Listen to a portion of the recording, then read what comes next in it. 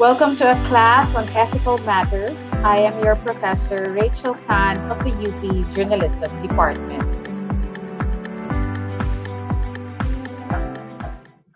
Every day, we make all sorts of decisions that lead to actions, and these human acts are the prime matter for ethics.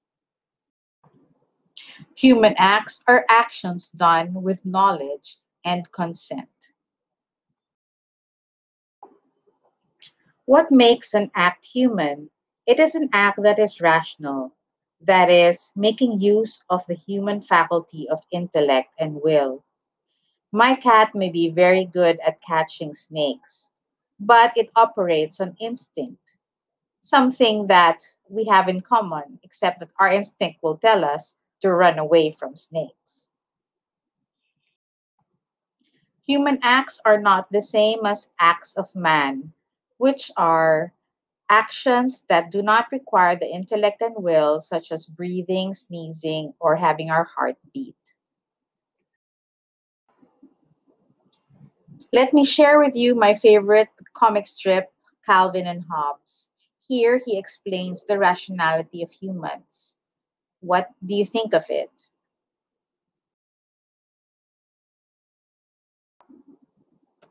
Our rational nature, therefore, leads us to seek knowledge before an act. That is, to be able to choose, there must be a choice between one thing and another.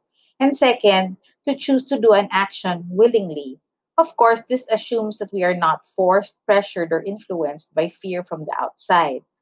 For example, when we are held up, we may give up our wallet to the thief, but we do so unwillingly. In general, however, the absence of knowledge and freedom of consent, whether it is in serious or grave matters, are rare.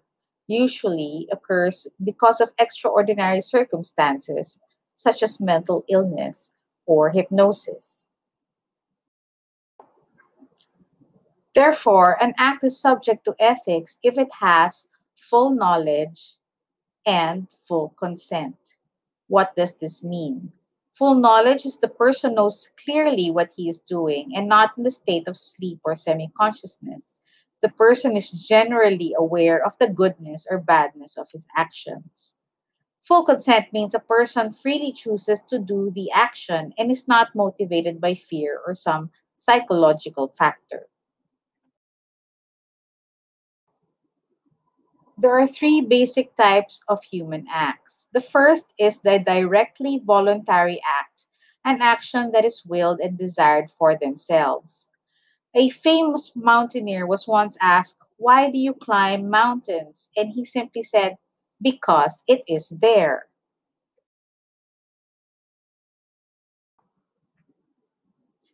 For class discussion, how does Calvin illustrate directly voluntary act in this comic.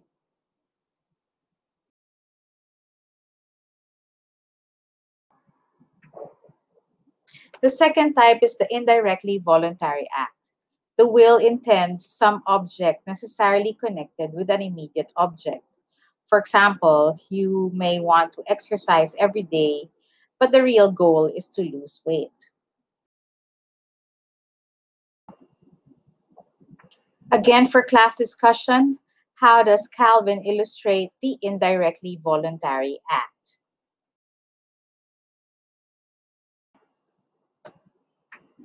The third type is the ethically indifferent act, actions that ordinarily do not involve moral decision making.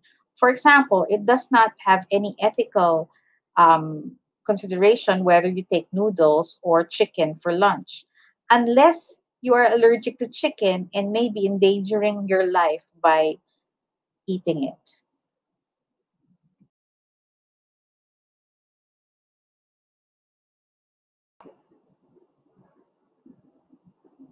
For class discussion, how does this comic illustrate an ethically indifferent act?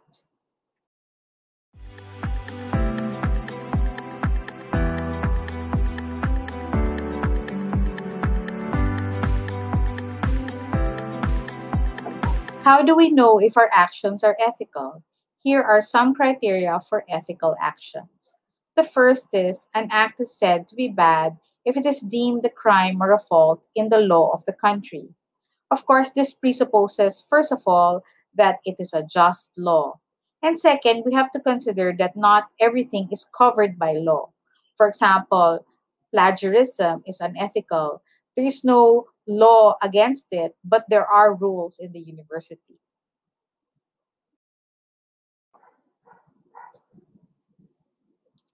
Second, an act is good or bad depending on what the majority believes.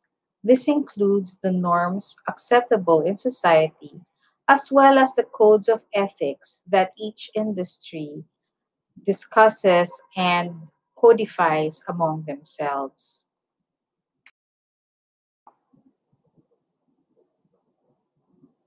Third, the goodness or badness of an act is determined by one's conscience.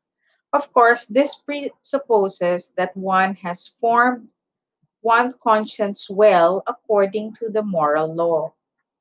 A deformed conscience is not a very good judge of an ethical action.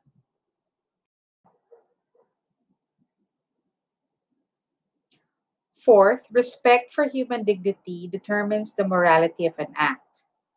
Obviously, anything that goes against basic human rights is unethical. But sometimes what is overlooked are actions of fairness, for example, fair wages for jobs done.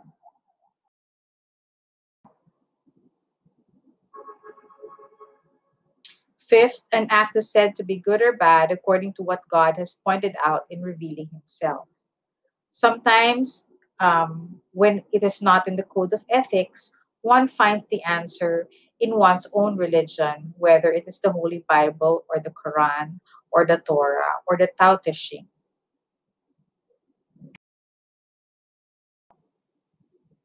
These criteria can serve as guides in judging whether an action is ethical or not. They need not be all present to be able to determine the answer. An atheist, for example, may not believe the Bible, but societal norms and the practice of the majority, as well as the advice of our seniors, can show the way.